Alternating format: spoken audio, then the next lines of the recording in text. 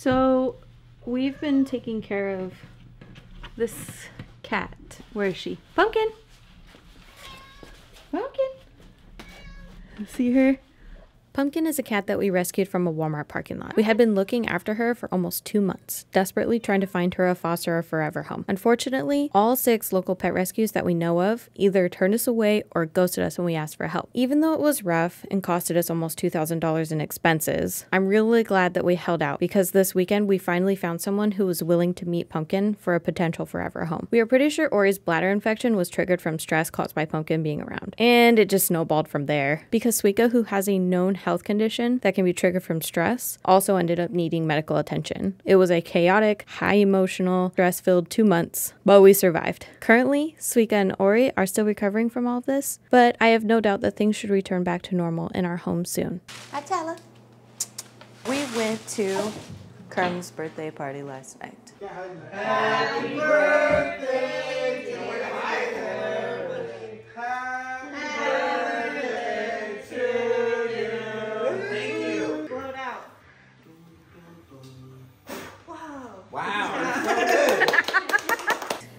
fun.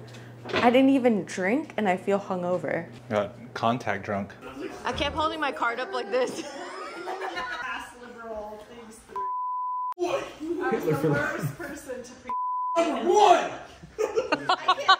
I know, yeah. What's the next word, Cody? Oh, I don't know because you guys are being assholes. No, you're the only asshole. I have a big asshole. Give us, thank you. Give us a three. I think I knew that, Cody. Fun night at Kerm's for his birthday. It definitely looked like he was having a good time, so hopefully it was. I know we had a great time. Anyways, moving on. He is making waffle Norwegian waffles. They're not cake-like, they're more soft. You don't serve them with syrup. You serve them with like berries and skyr or sour cream. Brunost? We're out of sour cream though, and we're out of skyr. I had to use it in the No, we're recipe. out of skyr. Yeah, there wasn't even enough to do the recipe, so I don't know how well these are going to turn out. Oh shit. The cool thing about the recipe uh, for the batter is it has crushed cardamom in it. It's very good. I highly recommend you give it a shot. Eat it like a taco. Anyways, that's what we're doing this morning. I spent a bunch of time this weekend messing around with our new microphones to see if we could improve the audio quality on these vlogs. Our current gear is pretty decent, but I think we can do even better, especially since we've been having a ton of fun putting these videos together lately. Didn't get much usual footage though, since I was focused more on the technical stuff. As I said earlier, we finally found someone interested in meeting Pumpkin. Total coincidence? Our neighbor was asking about her and then put us in touch with a friend of hers looking to adopt. We were so happy and relieved. The meetup wasn't happening until super late Saturday night though, so we kind of lounged around most of the day, killing time. When there's something planned like this in our schedule, we have a difficult time engaging or focusing on anything else. Not sure if that's a normal thing or just an anxiety thing, so if you're the same way, let us know. Anyway, not our most interesting Saturday, but still pretty excited about maybe finding Pumpkin a new home. I'm programming a custom AI image generation bot for a small community of 3,000 people. They're all waiting for me to come up with something. Currently only 113 lines of code. Pretty much have it done. I'm just trying to do some final tweaks before I let people play with it so that it doesn't explode when I release it to the masses. Building a queue so that people can't spam it and that you basically get in line because each image generation takes a few seconds and um, I don't want a single bad actor to be able to like crash it for everyone else. So I'm building a queue, a queue system where once you send a command, you get added to the stack and then it processes it, is it through and you can't have like multiple. Thank you, sir. Thank you for sharing. We just had a little stay in Yep. kind of day. Look at us hanging out on the couch of Ori. I have an obsession right now with knitting uh, cabled beanies, and so I'm knitting a Santa hat beanie. I thought it was clever because it's Christmas season and Santa hats are kind of corny, but I thought this was a cool way of wearing the colors. But uh, yeah, almost done. But I only actually have three more rows, and then I'm finished and then I make the palm. And I'm reading a book called Divine Rivals by Rebecca Ross, I think. And Shibe's still working on his bot thing. Yeah, did not go as planned. Yeah. How come? uh, when you release things to the internet, people pervert it and ruin it. So had to take that down real fast. There's the man. The man who made the porn bot. They're gonna make a Netflix documentary about it. Yeah, right. Watch. We met up with the couple that potentially wanted to adopt Pumpkin, and I am happy to say that they took her. So I'm really, really, really glad that she was able to hold out and we could find her the perfect forever home.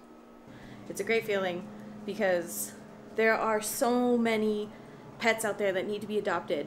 So if anything that you should take away from this video is spay and neuter your animals. This message is approved by Ori. And so does Mika. She she also approves.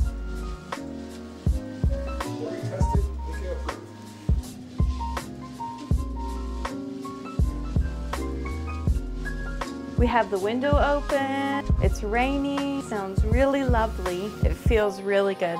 I knitted this hat a few days ago. So this is my first time wearing this new hat. We're gonna clank over Tala. To pumpkin. To pumpkin. Perseverance. Perseverance. What did I say? Perseverance? What did I say? Oh, what did I say? Did I say perseverance? Perseverance. Is that a word? Is that like Pre- Parmesan versus perseverance? persever- What did you say? Shit, you say a word too many times and it sounds weird. Okay, so I said perseverance. You said perseverance. Perseverance. Pronunciations. that was a good clink. Yeah, it was. Cheers. And now we will interrupt this vlog for some outdoor playtime with the kitties. Unfortunately, you will not see Suika in this segment. She wasn't feeling very good, and because of that, she was taking out her anger on the other kitties. And I'm not exaggerating when I say that she was full on attacking them. We had to make up a room for her and keep her separated until we could get her to see her vet. I'm happy to say though that as of right now, as in the posting of this video, she has long since been treated and is now happy and healthy again. If you're curious, her butt was clogged, and we had to go see a vet tech to get her glands all cleared up. So I bet she feels loads better. Rescuing Pumpkin was a crazy emotional roller coaster. I feel terrible that we put Ori and Suika, who are prone to abrupt changes as we are learning, through all the stress. To be fair, when we initially rescued her, we did so thinking that we'd be able to get the help from a local rescue. Not getting that help made us feel stressed, which probably made our kitties feel even more stressed. And we did everything that we were capable of to try and make things easy. And poor, poor sweet pumpkin, who wanted nothing more than just to be loved. So huge thank you to the couple that adopted her. I know she is going to bring you both so much joy and love, and that makes all of this worth it. If we ever get our own house that is large enough to have a separate space for rescues, like one that I could definitely keep them completely separated, as in like our cats would never even know it's happening, I may just have to become a foster.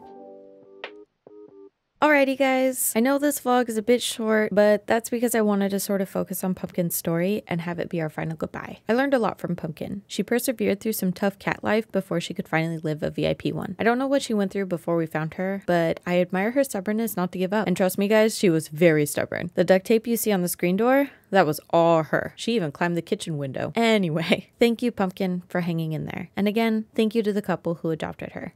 And before we end this, I'll share some of the other moments that we had with Pumpkin. Thank you so much for being here again, and I hope to see you in the next one. Goodbye. You're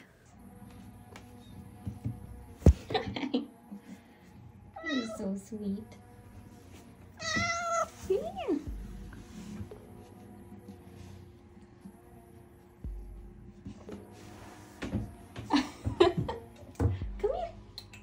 Where are you?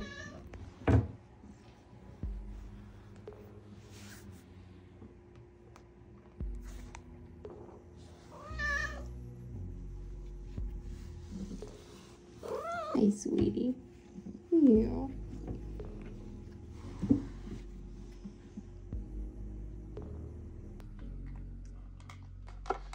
Okay, we'll wait till she. Oh, just kidding. Oh, eh, oh, okay. Come back.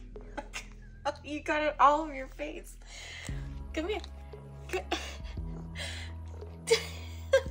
okay. Okay. Yeah. Look how good that is. Dang, you ate that fast.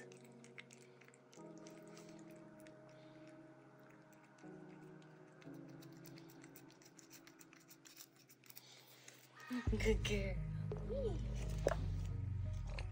Cat butt.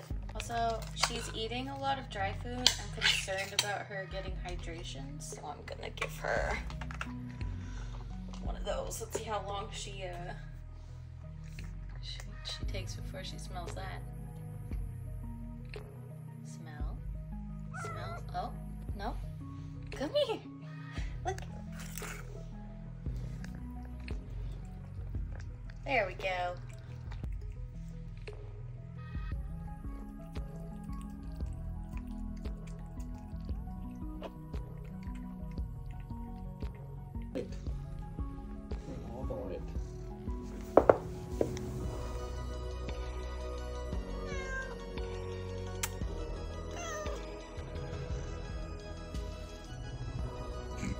My camera is stupid. Yep.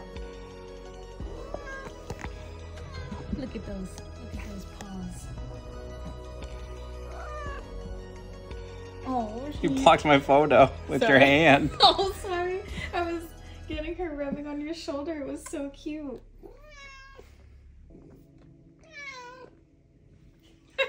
How did that turn out? Look at this photo. Hi, sweetie. Someone's coming. Shibe's here with.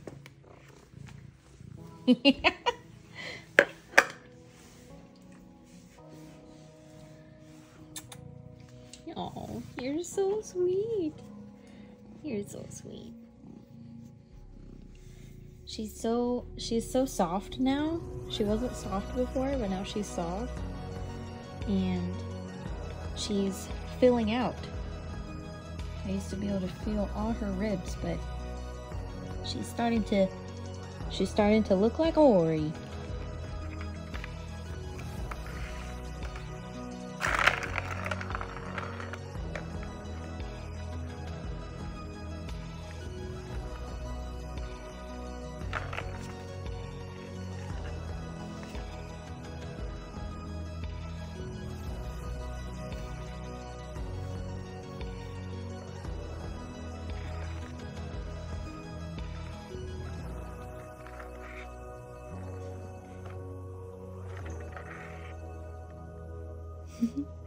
You're so cute, pumpkin.